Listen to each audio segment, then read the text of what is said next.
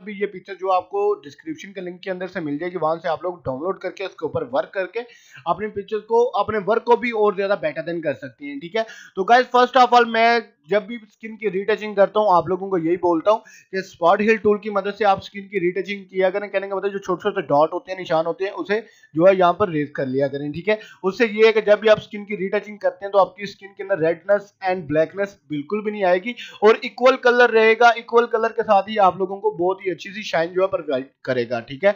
तो आप लोगों को आज ब्रेड जो है ब्रेड किस तरह